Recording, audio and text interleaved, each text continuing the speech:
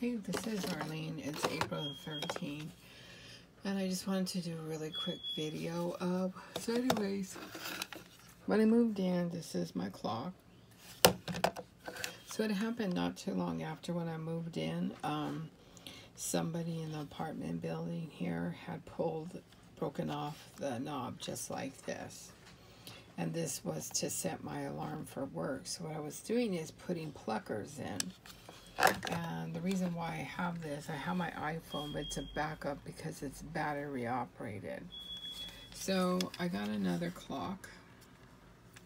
And this is the way it should look. So this is a piece that was broken off before. So um, I just wanted to do a video just to document it. Um, so I have my clock that I could easily change the alarm. For this one, I had to put the pluckers in there. And it took forever to move it around. So anyways, I just wanted to do a video just to document it.